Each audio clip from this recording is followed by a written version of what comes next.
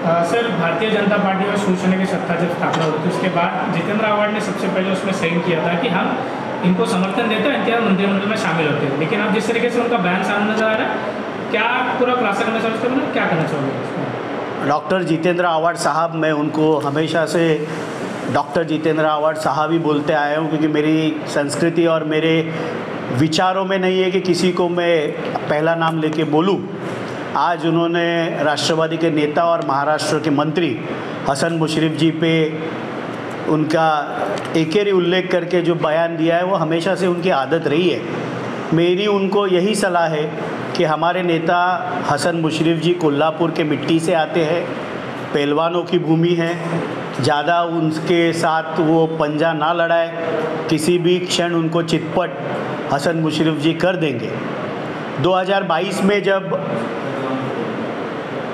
आज के मुख्यमंत्री एकनाथ शिंदे जी ने बगावत करके गुवाहाटी चले गए थे।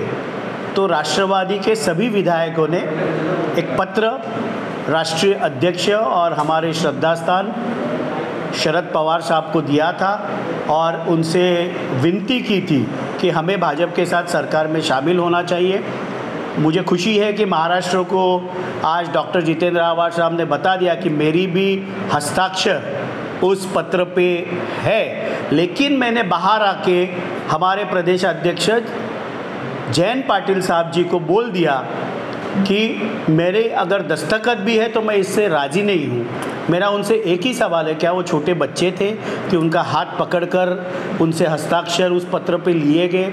आगे जाके उन्होंने ये भी बयान दिया कि दो विरुद्ध विचारधाराएँ कभी एक हो नहीं सकती। भारत को पाँच हज़ार सालों का इतिहास है कि ये दोनों विचारधाराएँ पैरेलल चलती है। ये इतिहास है। मुझे मालूम है कि वो इतिहास में संशोधन करके उन्होंने पीएचडी ली है। लेकिन मेरा उनसे एक बड़ा ही सरल प्रश्न है कि 2019 में वो कहते हैं कि मेरे हृदय में शिव शाहू फुले अंबेडकर है और उन्होंने कहा कि एक जांग पर शिव शाहू, फुले अंबेडकर और एक पे गोलवलकर गुरुजी रख के हम कैसे चल सकते हैं?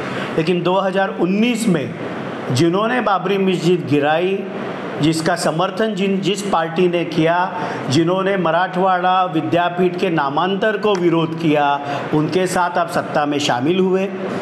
तो जिस प्रकार आज आप बया दे रहे कि वो पत्र पे मेरे हस्ताक्षर थे, लेकिन बाहर आके मैंने तब के प्रदेशाध्यक्ष जयंत पाटिल जी को कहा था कि अगर मैंने हस्ताक्षर भी किए तो मेरा विरोध है।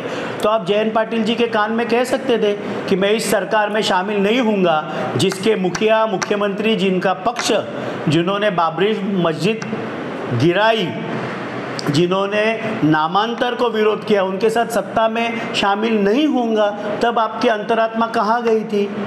ज़िंदगी भर आपने आपके स्वार्थ का, विकास का नहीं, पर स्वार्थ का राजकारण आपने किया है, इसलिए आप ज़्यादा नीतिमत्ता की बातें वो न करें।